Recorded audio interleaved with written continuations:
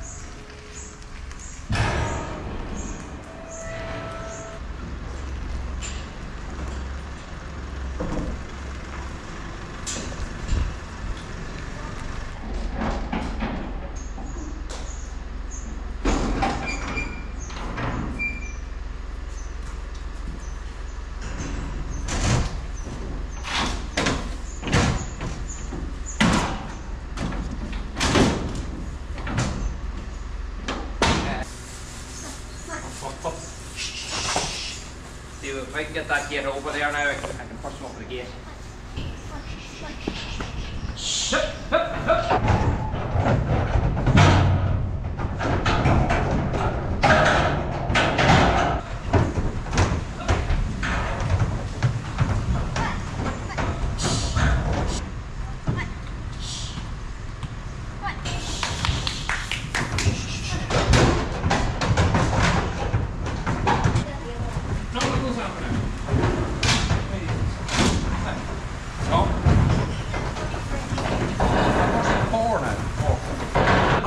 Of course, in true Irish style, as soon as you go to put them up in the trailer, it pours.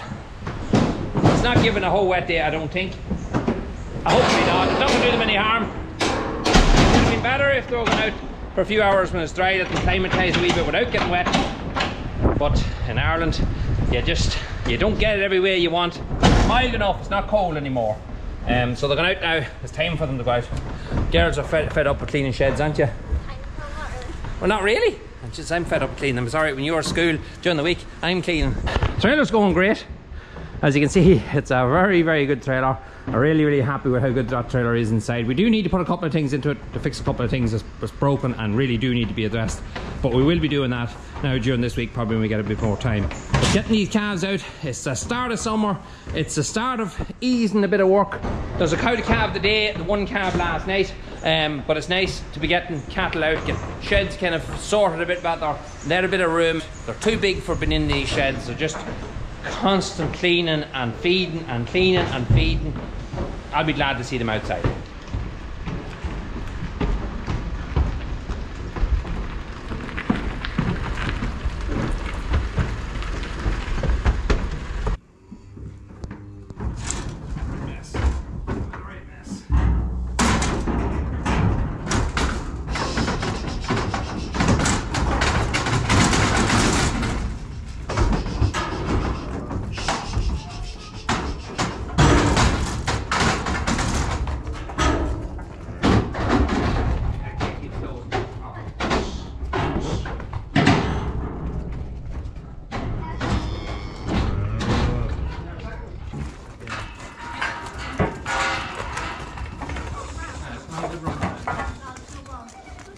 To get used to though.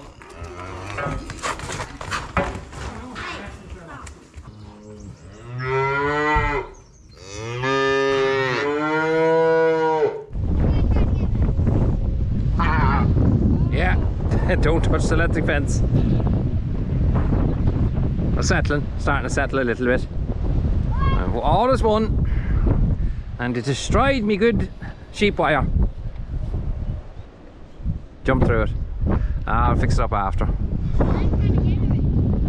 As you can tell, it's very windy here as always. It's never any other way. we have them out. The crew is with us. It's just not settled yet. We didn't do what we done other years. We didn't let them have a run around the yard. Probably made a mistake not doing that. We just wanted to get it done early this morning. We didn't want to take the whole day about doing it because we've other jobs to do. So it's the following day. Um, I'm just going over here to drop over the tipsy bin, which is on the front, uh, over to the calves. Save me having to bring buckets back and forth. Tipsy bin will be very handy over here. It's great. You can just drop it over wherever the calves is in the field and it's just a pleasure because nothing can get in at no wet can get into the mail. It holds about 700 kilos of nuts, which is going to do the calves a little while and it saves me going back and forth barrels. It's barrels just, oh, there's no comparison. There's no comparison in the two.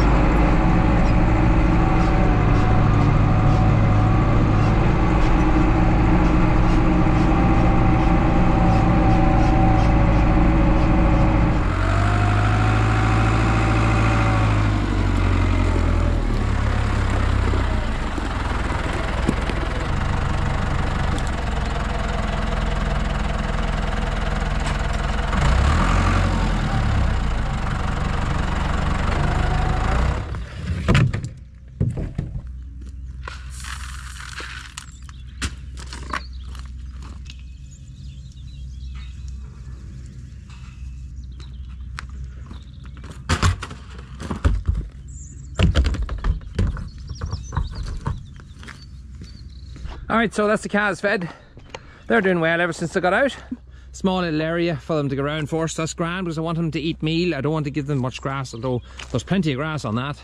It's layered with grass, but I want them to eat meal. Meal is the most important thing still to them. So we'll just close the door in the case here.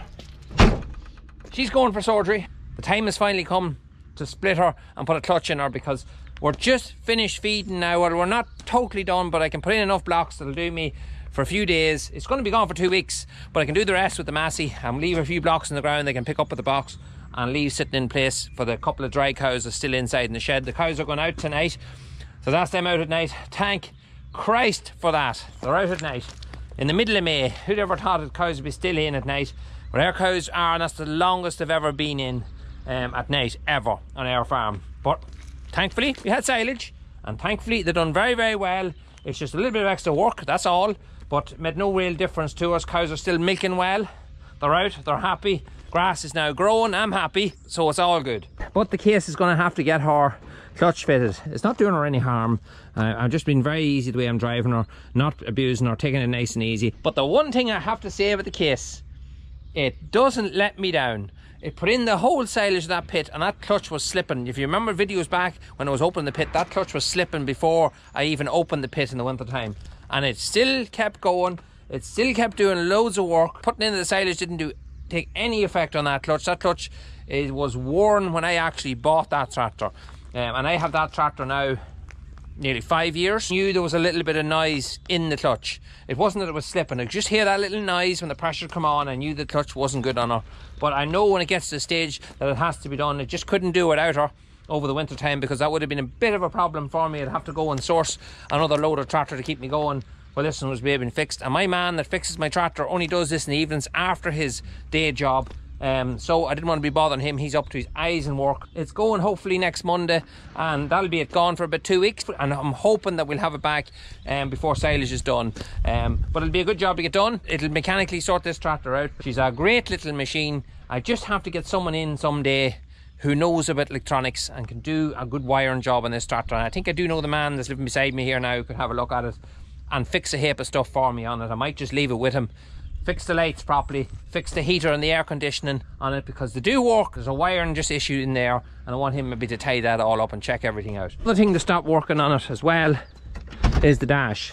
Electronic dash in these, I wish it didn't have electronic dash to be honest. I wish it was just a normal dash because electronics is always the things that let you down. But this dash uh, is not working now. The lights and all have went out on it. What happened first was it went to all zeros and nothing was registering and then it went out completely. Um, so I'm going to have to send that off. Uh, there's a place in England, I think it's called King's Electronics or something like that in, in, in England and they fix these. I've often I've sent other parts off them before and they come back relatively quickly enough. Sometimes you get a different one back, a reconditioned one or something like that and they keep your old one to fix them. But that's going away to get fixed because I've checked all the wire and I don't see any problems. One other thing I have to get is a new seat. I'll be putting a new seat in at the summertime. I'm not going to invest anything in that seat. It's as uncomfortable as you would ever come across. It might look alright in the video, but trust me, it's got a hump in the middle here and it would just divide you into like riding a horse barebacked. The loader is going to have to come back off again. Yeah, he's not going to like doing that. he's going to be renting me out of it, and rightly so. But it's going to have to come off. It's not that big a job to actually hook the loader off. It only takes a couple of minutes to hook the loader off. It's just some of the brackets will have to come off. Maybe not them all. She might just slide out. Um, he's going to have a look at that and see. I'm going to go up and help him if he needs me um, to take off some of them bits and pieces just to give him a lift off of stuff. Loads used to talk to me about a set of forks for the front of this tractor. I did get a set of forks back a while ago. I never actually showed them. Simple farmhand uh, forks they are. I'll show them later on in the video, but um, the shear grab to lift on bags of fertilizer and that's not a good job. It's hard on the pins and even to put big bags of fertilizer on them, it's hard on them as well. So I needed a set of forks. I really did need a set of forks because I'm using this front loader more and more now. Front loaders are a, they're just a godsend. That's what they are. They're an absolute godsend. And I didn't realize it until I got this one because I can hook on so much stuff so quickly. It's just brilliant, brilliant to have. Um, and that's why I'm going to miss it. When it's away two weeks, I'm going to miss the tractor. There's so many jobs I still have to do, and she is going to be missing the yard. So I'm looking forward to getting her back. This is a 12 foot Nugent, as you probably know by now. A very popular trailer, you see a lot of them about. Um, this trailer actually was a trade-in that came from a guy that was buying a new trailer. There's a grant on the moment in Northern Ireland, and uh, not here, but it's in Northern Ireland. There's a grant where you can buy a new trailer and a lot of new trailers are getting traded in now very fresh trailers. And this one just literally came in. Actually two of them came in together from the same farmer both in the same condition. One of them was sold within two hours. This one was only in a few hours and I laid my eyes on it and in the corner of the yard I walked over to it had a quick look around it got talking to Evan and it just felt right. It felt like it was the trailer for me. I had a good look around it and everything about it was perfect. And lo and behold yeah, went to buy a set of forks and came home with the forks and the trailer. It happens, but I'm glad I did. I'm glad I was there that day. I'm glad that I got this trailer, nobody else, because it is a phenomenally good trailer. Look, sorry about the wind. As always, very windy up here. I hope you can hear me. So let's have a look at what we bought. So, as you can see, most of you know the Nugent trailer, um, they're well built. As you can see, I have a Nugent I bought brand new back a few years ago in a flat trailer and absolutely love that trailer. It's so easy pulled behind the Jeep um, and I can't say a bad word about it. So I knew the build quality was going to be there. This trailer itself has seen very, very little use. You can tell by looking at the tyres. The tyres have next to no wear on them whatsoever. A spare tyre on the far side was never put on. We will change these lights out for LED. They are notorious for letting water in. I don't like them old style lights anymore. LED is the way to go. So I will be changing them lights out for LED. So I will contact my man in Auto Sparky and order a few lights myself online on his store when I can get his recommendations of what I should put on this place but we will be changing them lights they're a simple enough thing but the trailer itself is very very straight. No dents cracks anything at all on it. It's as good as the day it left the showroom. Yes it might be a bit duller all trailers are getting that very very quickly. I also like the fact now they can step up here and look in at the cattle. Um, my own you couldn't do that on the Ifor Williams. Now underneath the trailer as well is very clean. The timbers and all are perfect in it. We're going to have a little look at it inside um, in a minute. But i do like this.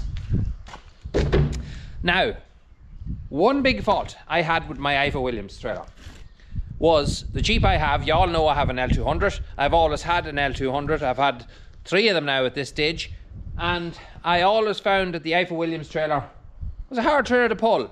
It was a 10 foot and I always knew I had it on the back, put it that way. I always knew. And even when we put two or three heavy cows in it, hard, hard trailer to pull. I thought maybe as the Jeep was on the powered, but then I got the lend of a Nugent trailer quite often actually. Um, and it was the same size as this one here and the difference was night and day.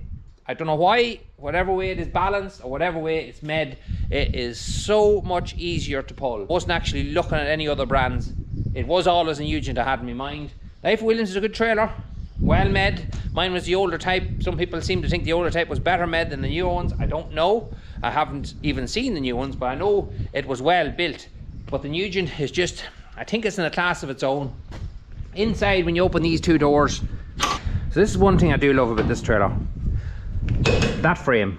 Do you see that frame that runs the whole way around the trailer? That goes right around and that just rigids up the whole trailer. That gives it an awful lot of extra strength. Just having that the whole way around. So I do think the finish inside the trailer itself is a lot better. Mine had the sheep openings in the bottom. This one doesn't have that. It just has them on the top. That's all you need for cattle. So we'll have a look inside to see what it's like.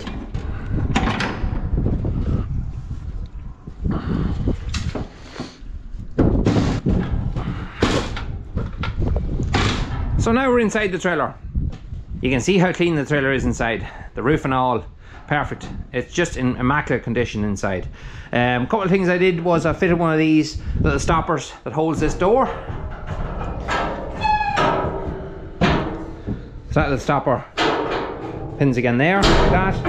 So now we have a full size trailer. I also think it's a little higher than Ifor Williams. I may be wrong, but I'm six foot one. I've got a little bit of clearance there, and I don't think I had that. I think I had to kind of crouch a little bit when I was in the other trailer. This trailer, no tank. Um, if I was buying a new trailer, I wouldn't put a tank in it either. Um, I don't need it. I'm not drawing cattle any long distances. I'm not going to be drawing for other people to the mart or anything like that. Don't really need it. The amount of time the cattle be in the trailer would be short. So I had no real need for a tank to be in it. Um, look, if it had a came with a tank, yeah, of course, brilliant. But if I was ordering one new, I wouldn't. It wouldn't be something that I'd pay extra for. Uh, these here I much prefer compared to the clips that I had on Ifor Williams. Um, the pull the door much tighter. What I had before was just the clips. You know, you see them in several trailers there and problem I had with them is very rattly, a very, very noisy trailer on the road. I had a bit of age to it, there's no doubt about it. I'd say the trailer I had was probably anything between 25 and 30 years old. Um, so it owes me nothing. It was a very, very good trailer, Ifor Williams. I couldn't say really much wrong with it, apart from the fact it was a little bit harder to pull, but I just wanted something fresh. Now, the Ifor Williams that I had was a good trailer. I had done a bit of work to it. About five years ago, I put a brand new full floor in it. So I put the new timbers and I put an all-in-one checker plate floor, the proper floor for that trailer. I got it through Lakeland Machinery. We'd put LED lights in it. We'd done quite a bit of work. I'd done the brakes all around it as well. I think I mentioned that before on the channel. And I've made a great job of that trailer. So it was in good condition. So whoever gets it was going to get a good trailer. It's in their yard there now. And um, one thing it did need is it needed a complete new hitch. Um, the hitch on mine, as you can see out there, there's no movement apart from the handle. There's no movement. Mine had a lot of movement here. So this whole thing needed to be replaced. This needed to be replaced on mine as well. The handbrake needed to be replaced. All that needed to be redone. So there was going to be a little bit of money having to be spent on it to leave it safer, let's say, on the road. So it'll go on to some other home and it'll serve someone for a long time yet. But I can even see on this trailer it's a lot higher than, than Ifor Williams was. It's a bigger trailer all round. But this gap here at the top, some of them have them on the sides as well. That is going to be great. And we all know what that's great for. Not just letting air into the cattle drag. When I found with Ifor Williams, it didn't have this, the new ones probably do. And one thing I had was a lot of resistance on the road when I was driving. So that was adding to the fact that the trailer was hard to pull because the wind couldn't get through. You just had literally a big sheet behind you of resistance. This trailer went straight to walk after I bought it. I done a run for a guy about 20 miles um, back and forth. I found a massive, massive difference in pulling the two trailers. It was just a pleasure to have behind. And you wouldn't hear it. That's another thing. You could forget nearly the trailer was on behind you. And there wasn't a noise kind of it. And that that was a nice thing. The nice thing not to have a trailer rattling like mad behind you. But I'm very happy with it. I'm very happy with my purchase. Um, Nugent is known for making good stuff. So it's going to be here hopefully for another 20 plus years. If it's half as reliable as the last one was, it's going to be a good purchase. So I was glad very glad to get my hands on that. Merch. A lot of people message me about merch out of stock. I know a lot of our merch is out of stock and thanks to you guys for that. Um, just orders were overwhelming for us. But we have news. Our merch is going to be back in stock next week. So our jackets that we have, our iFarm, We Farm jackets, um, they're going to be back in stock very early next week. And our body warmers that a lot of you are really interested are going to be back in stock on the 6th of June, or in around the 6th of June. So we'll be giving updates on that very, very shortly. Another thing we're working on at the moment is to put a little package together for Father's Day. We will be doing a nice little package for Father's Day coming up um, if you guys want to grab yourself a deal for that. So keep an eye out for that and that'll be coming very, very shortly. Anyway, folks, thanks for watching today's video. If you like what you see, hit that sub button, give us a like, leave a comment down below. Until the next one, talk to you again.